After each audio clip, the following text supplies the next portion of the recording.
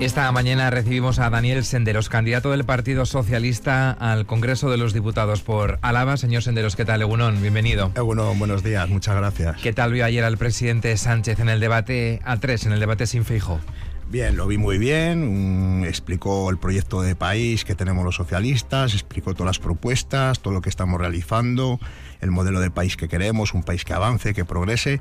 Lo vi, lo vi muy bien, muy bien. El presidente en el último meeting que dio en eh, Donostia hablaba de remontada. ¿Ustedes perciben esa remontada que pronostica el CIS, la única encuesta que pronostica esa victoria del Partido Socialista? Te voy a ser sincero de corazón, como no puede ser de otra manera. Yo estoy convencido, salimos a ganar y vamos a ganar los progresistas de este país se están moviendo, estamos percibiendo que están moviendo, sobre todo estamos viendo, decimos que viene el lobo, que viene el lobo, no, el lobo ha venido y se está percibiendo.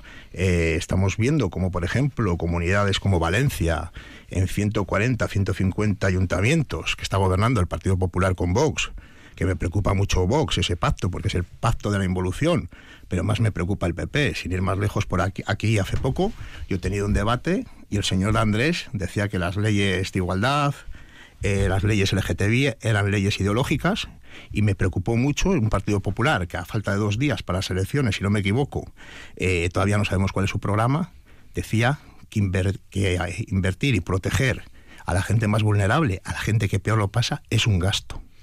Ese es el Partido Popular, el partido de los recortes y de la involución. Y es preocupante, es preocupante. Y esto está haciendo que los progresistas se muevan.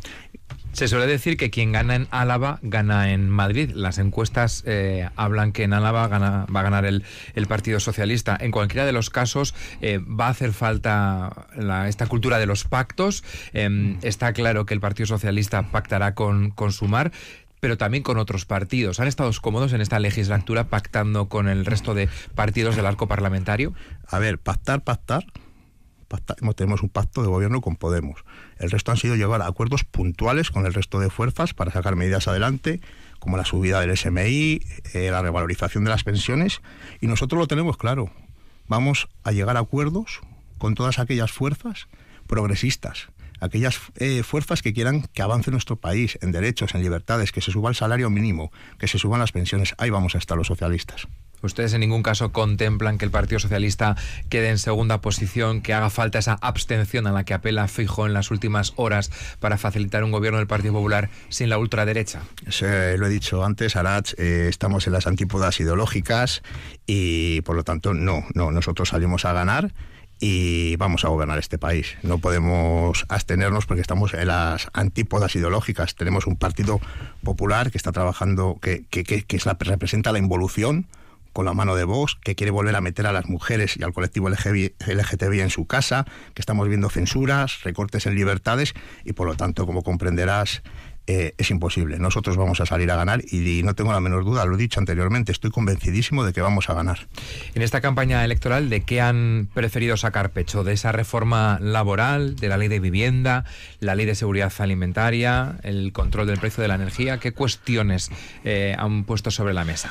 A ver, son muchas. Eh, me siento orgulloso de haber pertenecido a este gobierno, un gobierno que en una situación compleja, como una pandemia una crisis económica derivada de la invasión del autocata Putin en Ucrania, eh, hemos sido capaces de aprobar más de 200 leyes, 200 leyes para seguir avanzando en derechos y en libertades y en algunos recuperarlas. Me siento orgullosa especialmente a nivel personal de todas, pero hay una que, por ejemplo, la revalorización de las pensiones según el IPC me ha tocado mucho la fibra, como no podía ser de otra manera, la ley de cambio climático, la ley de eutanasia, eh, la ley de la cadena alimentaria, que era una demanda histórica de nuestros agricultores y de me querer ir a Rioja Alavesa para garantizarles unos precios por encima del coste de producción. Por lo tanto, me siento orgulloso de todas, de todas, pero el trabajo ha sido muy, muy, muy bueno. Ahora vamos a hablar de las propuestas del Partido Socialista para los próximos eh, cuatro años, pero en el caso de Álava, ¿qué se ha defendido desde el, desde el PSOE para nuestro territorio en estos cuatro años que usted ha sido eh, diputado por nuestro territorio? Lo primero, para mí ha sido un orgullo representar a Álava quiero volverlo a hacer si la ciudadanía el próximo 23 deposita la confianza en nosotros y seguir trabajando.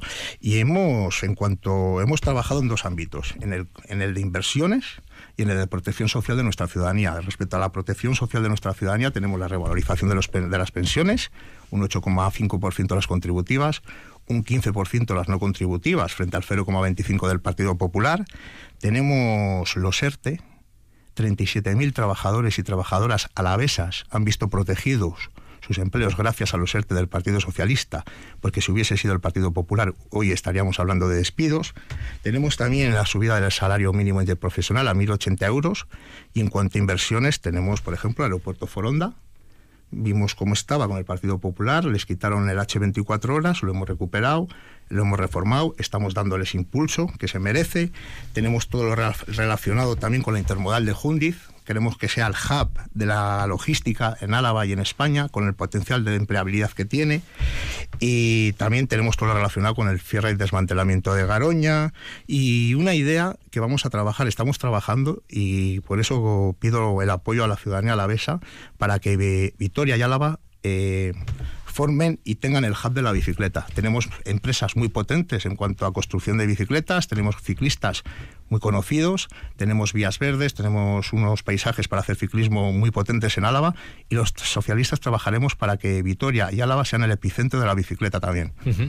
Han mencionado Garoña, hemos conocido cuál va a ser ese proceso de desmantelamiento de la central nuclear más vieja del Estado. Ayer mismo se firmó ese cambio de titularidad, pasa a manos de la empresa pública Enresa, pero usted sabe también que la Junta de Castilla y León ha pedido un informe para ver la viabilidad de reabrir esa central en los mismos términos o de forma más pequeña. Con un gobierno del Partido Socialista, Garoña va a seguir ese desmantelamiento, no se va a abrir, se garantiza que en ningún caso Garoña volvería a abrirse. A ver, eh, lo primero, eh, el cierre y el desmantelamiento de Garoña es un éxito de la sociedad falavesa y un compromiso y un gran trabajo del Partido Socialista. Gracias al compromiso del presidente Sánchez y de Teresa Rivera, el, cierre de Garoña y el desmantelamiento son una realidad. Por lo tanto, nosotros eh, garantizamos que Garoña no se va a reabrir. Pero también tengo que decirlo claramente. Y, otra cosa muy importante, hemos cerrado Garoña, vamos a comenzar su desmantelamiento acompañándola del plan de transición justa para que nadie se quede atrás, incorporando Ribera Baja, Lantarón y Valdegovía, también una demanda de estos municipios que gracias a los socialistas se ha, llevado a cabo para reactivar su economía. Pero sí que me preocupa mucho, como bien has dicho, Castilla y León, la actitud que tiene el Partido Popular y Vox. Por lo tanto, hemos hablado de involución en cuanto a derechos, libertades, pero también en cuanto a temas de medio ambiente. Eh, si, si, esta gente gobernaría, si llegaría a gobernar el Partido Popular con Vox, no tengo la menor duda que Álava, nuestro territorio, está en peligro. Ya no es la reapertura de Garoña, es que quieren retomar el fracking y las exploraciones y explotaciones de hidrocarburos. Es decir, quieren abrirnos en canal a nuestro territorio. Y el único que puede impedir eso es el Partido Socialista Obrero Español. Ha hablado de esa reactivación económica de la zona cercana a Garoña. Los núcleos a menos de 10 kilómetros hasta ahora han recibido ayudas. Garantiza que va a haber fondos para la reactivación en Araba, en esos pueblos alaveses cercanos a la central nuclear. Era una demanda histórica. Nosotros hemos trabajado, he trabajado de primera mano eh, ha habido ya ciertas partidas con los fondos europeos, por cierto, fondos europeos que han servido para reactivar la, la economía de municipios alaveses y que el Partido Popular intentó boicotear en Bruselas. Es decir, ellos mismos eh, quisieron impedir que llegasen ayudas para reactivar los municipios alaveses. Este es el Partido Popular. Nosotros vamos a seguir trabajando en esa línea, nos hemos comprometido, ya ha habido municipios que han pedido esas ayudas a través de programas para reactivar el turismo, para la apuesta por las energías renovables, o sea que vamos a garantizar la reactivación económica de esas zonas para que nadie se quede atrás. Quiero hablar también del soterramiento porque mm, hace unos días decía el candidato del Partido Popular que el soterramiento en Vitoria-Gasteiz quedado paralizado desde que el Partido Socialista está en el gobierno. ¿Eso es así? ¿El Partido Socialista tiene parado el soterramiento del ferrocarril a su paso por Vitoria? No, es así y parece ser que el Partido Popular a la vez se está contagiando un poco del señor Feijó, pero bueno, a ver, la realidad es que no hace mucho estuvo Raquel Sánchez, se firmó el convenio con diferentes instituciones para la llegada, para el soterramiento del, del tren de alta velocidad a Vitoria, para la llegada eh, nosotros estamos, hemos pegado ese impulso definitivo para que el tren de alta velocidad sea una realidad más pronto que tarde en Vitoria. La evaluación de impacto ambiental ya se ha aprobado para la línea Burgos-Vitoria. Hemos invertido más de 1.200 millones para ello. Por lo tanto, el impulso se lo está pegando realmente el Partido Socialista. Y más le voy a decir, eh, nosotros cuando llegamos al gobierno no había nada, nada para ningún proyecto para que llegase el tren de alta velocidad a Vitoria. Por lo tanto, eh, está garantizado. Hay un convenio, por lo tanto, el Partido Popular no dice la verdad una vez más. La conexión del setup con Navarra, ustedes desde el Partido Socialista, ¿qué van a defender? ¿Que sea por Vitoria Gasteiz o que sea por Ezquio Ichaso? Lo hemos defendido siempre, nosotros lo tenemos claro, queremos que sea por Vitoria, por Vitoria Gasteiz, así lo vamos a defender, y no como otros partidos que tendrán que explicar por qué dicen que ahora tiene que ser por Vitoria, como el Partido Popular, y luego en Bruselas votan a través de que sea por Izquio. O sea que nosotros lo tenemos claro por Vitoria Gasteiz. Hablamos también de las transferencias de cercanías de seguridad social. Son transferencias que quedan eh, pendientes. Decíamos al principio que el Partido Socialista necesitará llegar a acuerdos con otras formaciones para eh, que esta legislatura, o esa próxima legislatura, si la lidera el Partido Socialista, sea viable, tenga los apoyos suficientes. ¿Cree que el PNV eh, va a forzarles con estas transferencias? ¿Y cuál va a ser la postura del Partido Socialista en torno, sobre todo a esas dos, cercanías y seguridad social? A ver, nuestro compromiso con el cumplimiento del Estatuto de Guernica, como no puede ser de otra manera, es íntegro. Por lo tanto, eh, seguiremos trabajando en la transferencia de las competencias. Sin ir más lejos, eh, lo he comentado antes, eh, hemos vivido unas circunstancias sobrevenidas con una pandemia, donde el objetivo era salvar personas, como lo podía ser de otra manera. Luego hemos padecido una crisis económica derivada de la invasión de Ucrania. Hemos lanzado ese escudo social para proteger a la gente. Estas son las prioridades y aún y todo hemos transferido 11 transferencias al País Vasco. Hemos sido la comunidad autónoma que más transferencias ha visto transferidas, por lo tanto, pues nosotros vamos a seguir en esa línea. Hemos hablado del soterramiento, del tren de alta velocidad. ¿El futuro de Foronda, por dónde pasa?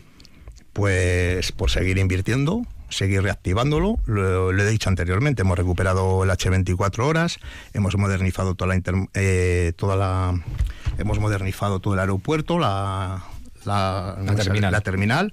y vamos a seguir impulsándolo, vamos a seguir impulsándolo. Tenemos una capacidad muy importante en cuanto a carga para seguir impulsándolo y en cuanto a turismo también. Hablemos también del macrocentro em, para personas refugiadas en Arana. Em, se ha impulsado ya en Vitoria, se han hecho ya los trámites pertinentes. Me gustaría que explicara por qué es importante este proyecto.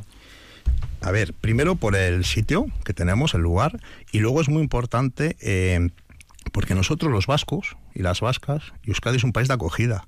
Nosotros también fuimos migrantes y nos marchamos a otros países y fuimos y nos recibieron con los brazos abiertos. Por lo tanto, yo creo que debemos hacer lo mismo, sobre todo con gente que se tiene que ir de sus países por persecución política, por orientación sexual o por su clase social. Y no debemos generar un problema donde no lo hay. ¿Ha escuchado usted eh, los discursos de los últimos meses en torno a este centro, la preocupación que hay en algunas formaciones políticas por el perfil de personas que llegarían a ese centro? No sé si quiere contarnos exactamente para que nos hagamos una idea qué tipo de personas van a llegar lo, a, a, este lo, he vuelto a decir, son gente que desgraciadamente se tiene que marchar de sus países por, por su forma de pensar, por su orientación sexual. Por lo tanto, eh, recibámoslos con los barcos abiertos. Nosotros hemos sido migrantes también no, y no generemos eh, problemas y dudas donde no las hay. Ha, habido unas cuantas sentencias eh, en la administración pública por parte de los tribunales competentes, entre otros el constitucional, en torno al euskera. ¿Usted cree que hay un riesgo de involución del euskera aquí en Euskadi? Yo creo que no. Yo creo que no. El euskera es la lengua cooficial y por lo tanto yo creo que se tiene que atender en los dos idiomas, tanto en el euskera como en castellano. Bueno, ¿qué otros proyectos va a defender usted para Álava si vuelve a ser reelegido eh, diputado para el Congreso? Bueno, pues como he dicho, primero tenemos que seguir potenciando Foronda, la intermodal de Jundiz, trabajar para que el hub de la bicicleta sea una realidad, una realidad ir transformando nuestra economía, eh, apostando por una economía, pasar de una economía lineal, de usar, producir y tirar, a una economía circular. Y luego trabajar muy seriamente porque Álava se enfrenta a un reto, el mayor reto que nos enfrentamos es el cambio climático. Y cuando hablamos de cambio climático hablamos de empleo, de salud y de economía. Y necesitamos adaptarnos. Lo hemos visto hace poco, las olas de calor, lo que ha pasado en Mercedes con el Pedrisco. Por lo tanto, eh, tenemos que saber adaptar nuestra economía, nuestras infraestructuras, nuestras infraestructuras críticas y también la salud de los alaveses y alavesas al cambio climático. Y ese va a ser un reto, porque es un reto, pero a la vez es una oportunidad de generación de empleo muy potente para Álava. Usted además ha trabajado en la materia de la transición energética en esta legislatura. ¿En qué cuestiones se ha avanzado en estos cuatro años? Pues ha avanzado muchísimo. Por ejemplo, tenemos una ley de cambio climático, un plan de adaptación nacional al cambio climático. Hemos avanzado en cuatro años con el gobierno de Pedro Sánchez lo que deberíamos haber avanzado en diez años con el Partido, con el partido Popular. Y respecto a Álava, eh, tengo que decirlo claramente, el autoconsumo, el autoconsumo compartido, las comunidades energéticas, eh, son hoy una realidad gracias al compromiso del Partido Socialista y la derogación del impuesto al sol, que paralizó todo el sector. Por lo tanto, también volvemos a, ver que si llega el Partido Popular de la mano de Vox, es una, puede haber una auténtica involución y acabar con un sector que ya acabaron que es un auténtico potencial para Álava. Daniel Senderos, candidato del Partido Socialista al Congreso de los Diputados por Álava. Gracias y suerte. Gracias a vosotros, muchas gracias.